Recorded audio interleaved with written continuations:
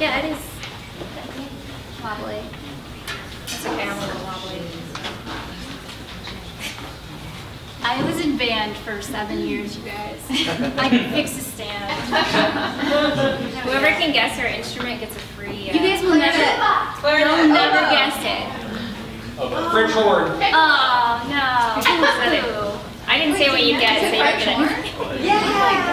I still play my horn. Gorgeous. Baby. It's amazing. It's the only expensive thing I own. So I gotta keep playing it. Alright, so fix that. Alright, welcome guys to I Scream Social. This is almost our two year. So it's really exciting that we can do this for this long. And keep coming and sharing your work with us and agreeing to be featured readers and agreeing to eat ice cream. I know it's so hard, but we're really happy that y'all could make it out tonight. And it feels like summer finally, so it feels right to eat ice cream more than usual. It's the only consolation.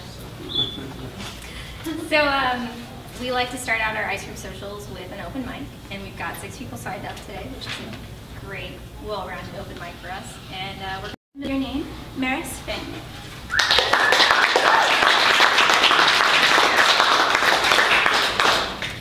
Hello, um, it's good to be So I'm going to read just a couple of pages from my novel In Progress.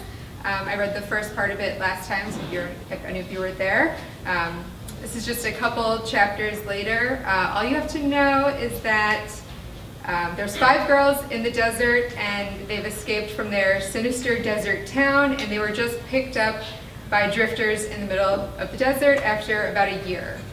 Um, this scene takes place on the back of a pickup truck. Arthur's garbage dump in neon blue. I could have sworn I saw it with my own two eyes, but it could have been a dream. It became hard to draw the lines between real real, book real, and just plain fake. In the beginning of our desert stay, the five of us would share our dreams. Sometimes they'd be wistful, wish fulfillment dreams that brought us back home. Home. Home home, one of those words that when you say it over and over again, it starts to lose its meaning. But relaying these dreams had the opposite effect. It became more painful than describing our nightmares. Every time one of us said the word home, it was like dropping acid in our eyeballs. Leora once went on for hours about seeing herself sprout giant antennae. Big hairy feelers is what she called them, and being unable to control what she ate. The antenna, she said, made her hungry for puppies and birds and bunny rabbits, and she couldn't do anything but eat them. Angie dreamt about her teeth falling out one by one, and when she bent down to pick them up, blood poured out of the holes where her teeth were, and her head shriveled up, and her brain slid out of her nose. Vera's nightmare stories usually included water. She was able to breathe underwater, and she described deep sea creatures in such detail that it was scary.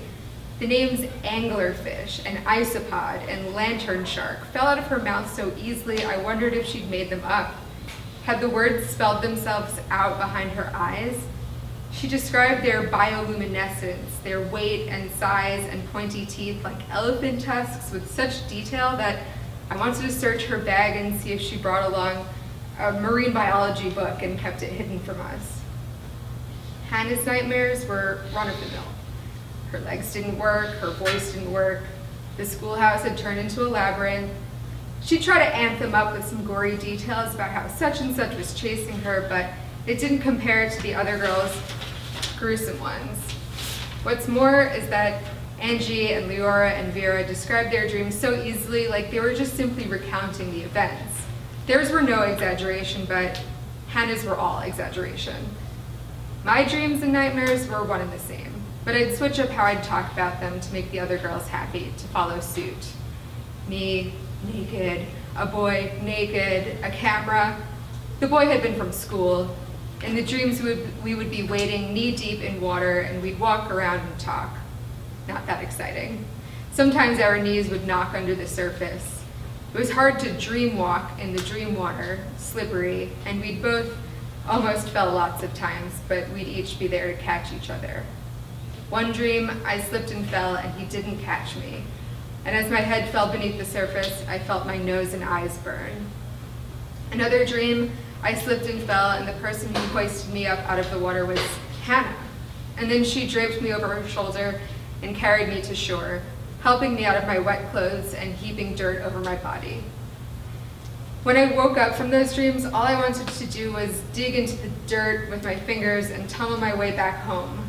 Close myself in a room, a door, all I wanted was a door.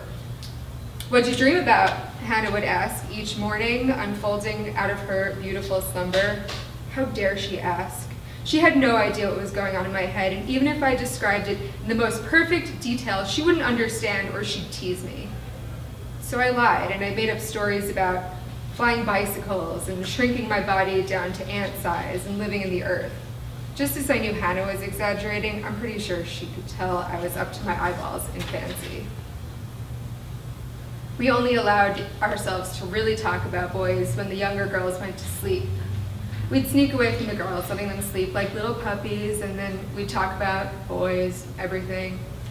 We'd take turns drawing what we thought penises looked like in the dirt, each one longer than the last, until Hannah drew one that was so big it was the size of me.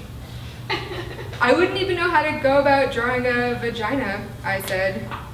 Well, spread your legs and we'll find out, she said. She laughed, and so I laughed, but then she stopped laughing. I think I'm tired, I said. Yeah, me too, she said. Let's go to sleep. And we had, quickly, pressing our thin bodies against each other like the last two bananas in a bunch. I did see Arthur's garbage dump, though, at least the sign for it, and it wasn't any goddamn dream. Thank you.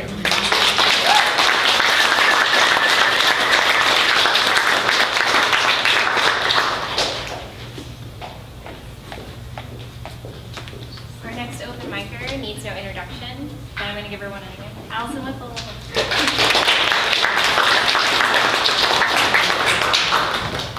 Alright, um, I'm going to read a couple of, they're older poems that I'm pretty sure I've read before, but um, I'm starting to revise stuff for my thesis manuscript, so hopefully they're a little better than the last time you heard them. Hawks don't circle. The cold spring water knifing my skin was punishment for not calling off the trip, though I knew I was going to leave him. Clouds blocked the warmth and light. I kept my sunglasses on so he wouldn't see the truth making crow's feet in the corners of my eyes. Every time I glanced in his direction, the sob nestled in my chest threatened to break loose. After my fourth beer that morning, I dredged up some tipsy faith. I'd loved two men at the same time before. I could do it again. By the grace of the Devil's River, I'd find a way to make things work. We watched a hawk float on the thermals. I'd always thought they'd circled. I'd always assumed I'd never have to choose, that my heart could have everyone it desired. Two weeks prior, my new lover had corrected me on the subject of hawks. I opened my mouth to tell the old love what I'd learned. Before I could get a word out, he turned his head and said, I know.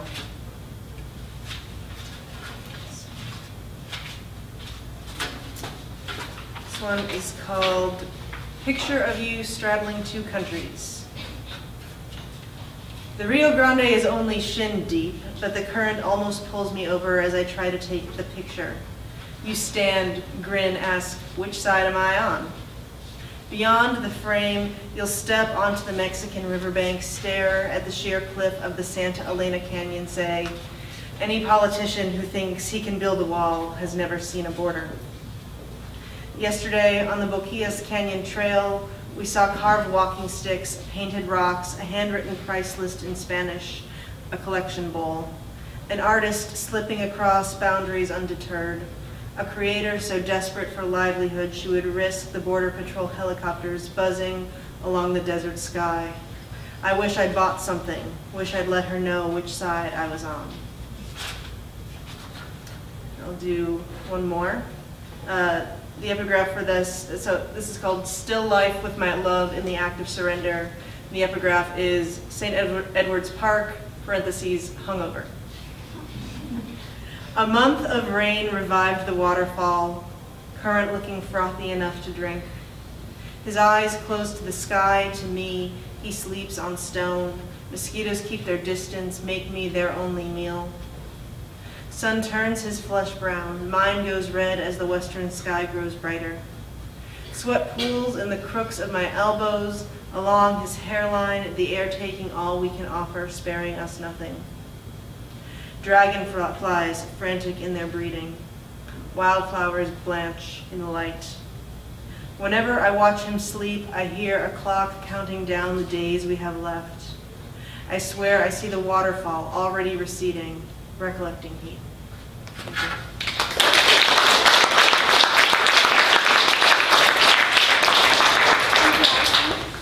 next, we've got another regular ice creamer, uh, Taylor Benavides.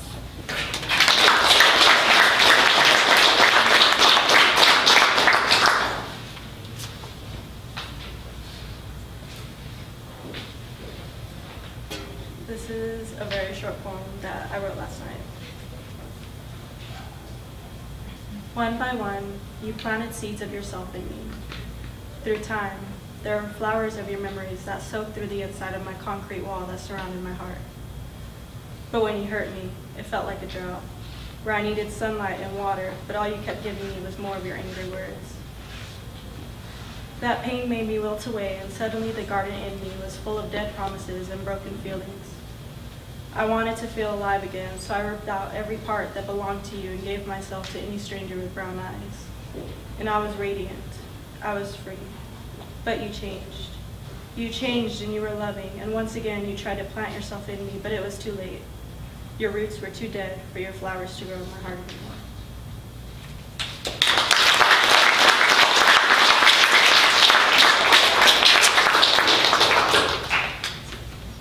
If you came to our last ice cream social, you remem- may remember our next open micer. She's back to regale us with some more poetry. Jen and Kate. Kate.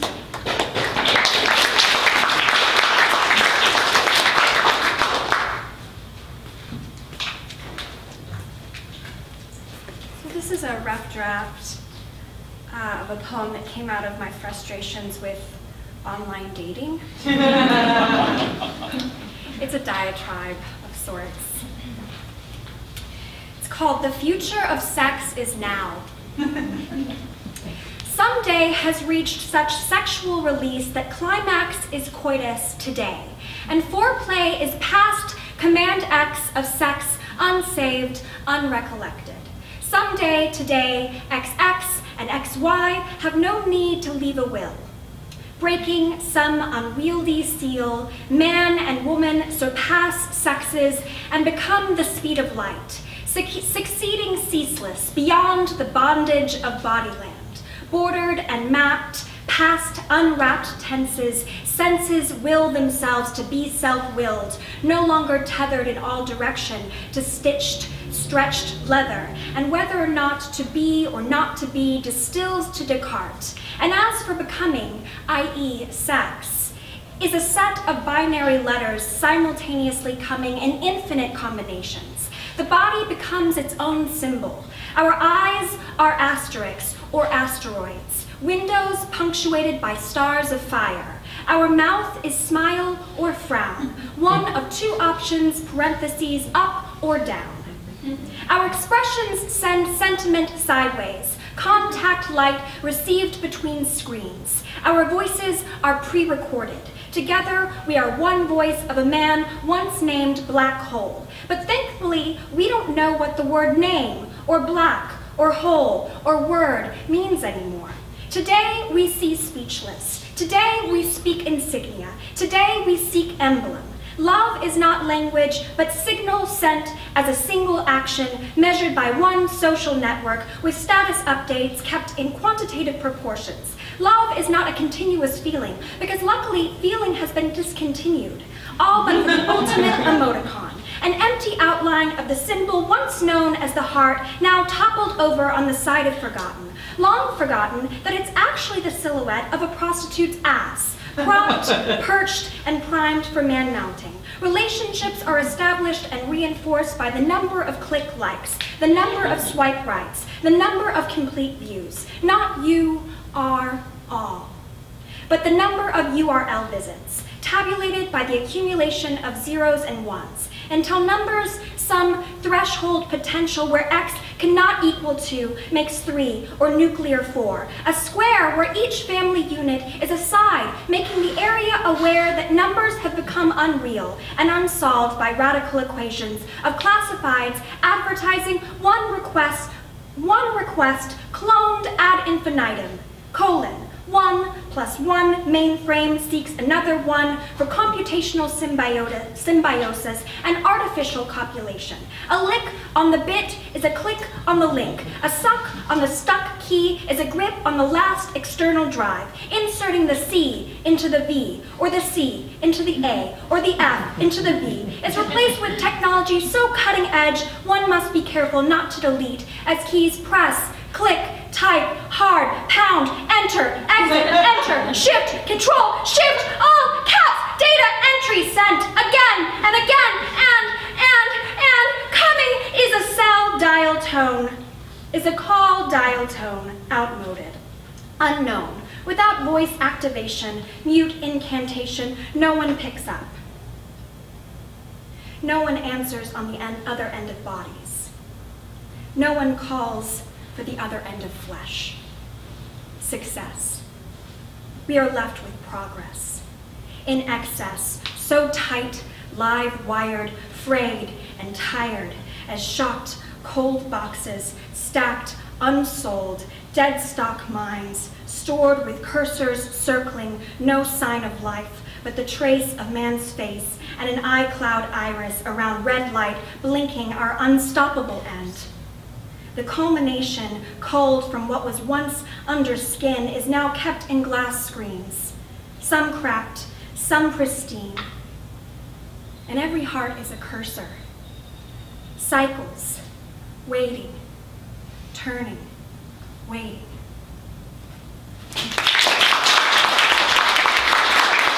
Oh, now I'm blushing for the rest of my life. Thank you. Uh, we have one last featured reader um, who's graced the open mic before, Sam Treviño.